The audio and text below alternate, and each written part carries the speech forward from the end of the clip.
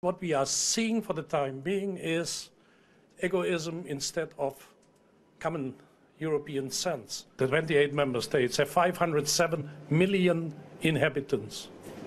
If we distribute 500,000 refugees amongst 507 million, it is not a problem.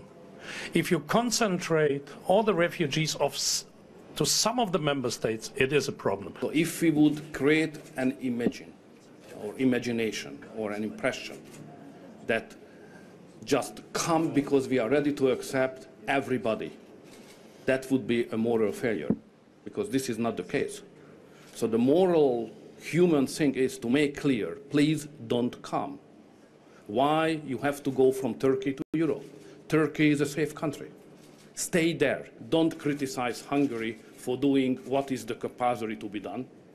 And instead of criticizing us, just let us Hungary do the job as it is written in the European regulations. Schengen Treaty is under threat. This is absolutely clear. And if we don't solve the problem, uh, then the uh, threat for the uh, free movement uh, will increase.